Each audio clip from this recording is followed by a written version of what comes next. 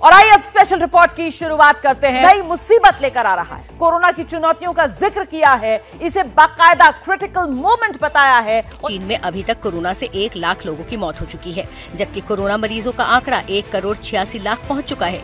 Britain को चीन में एक दिन में पच्चीस हज़ार लोगों की मौत की आशंका है जबकि उस वक्त तक चीन में पाँच लाख चौरासी हज़ार लाशें बिक चुकी होंगी। ये चेतावनी ऐसे वक्त पे जारी की गई जब अकेले बीजिंग शहर में एक दिन में हज़ारों केस रिकॉर्ड किए गए।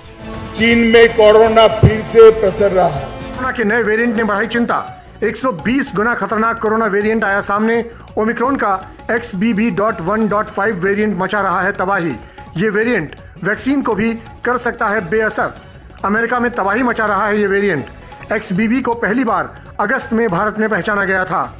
कोरोना के नए वेरिएंट XBB.1.5 वेरिएंट ने बढ़ाई चिंता। 120 गुना खतरनाक कहा जा रहा है ये कोरोना वेरिएंट। अमेरिका में इस समय तबाही मचा रहा है XBB वेरिएंट